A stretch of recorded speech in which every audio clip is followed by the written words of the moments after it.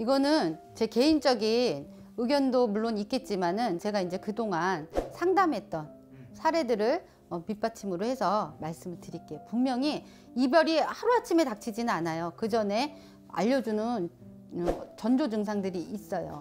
대표적으로 첫 번째는 내가 싫어졌던 상대방이 나를 싫어졌던 공통점은 그 상대방이 크게 보였다가 작아져요, 점점. 자꾸만 비교 대상이 생기는 거지. 이래서 처음에 좋아할 때는 헤어짐이 없을 때, 막 달아올랐을 때는 아무리 멋있는 사람이 옆에 있어도 그 사람이 제일 빛났는데 어느 순간인가 초라해 보이기 시작하는 거예요.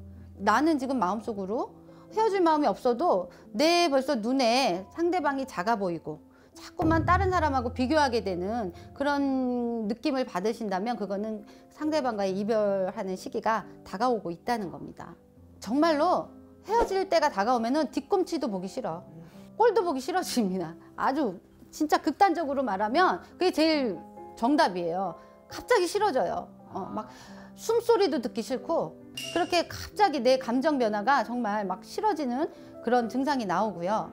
그 다음에 자꾸 핑계가 생겨.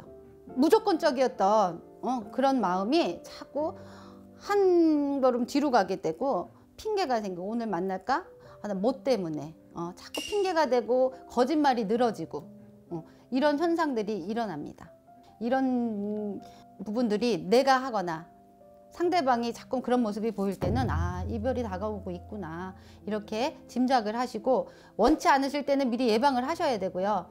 그냥 그대로 냅두지 하실 때는 이제 이별의 전조 증상이다 이렇게 알고 계시면 좋겠습니다.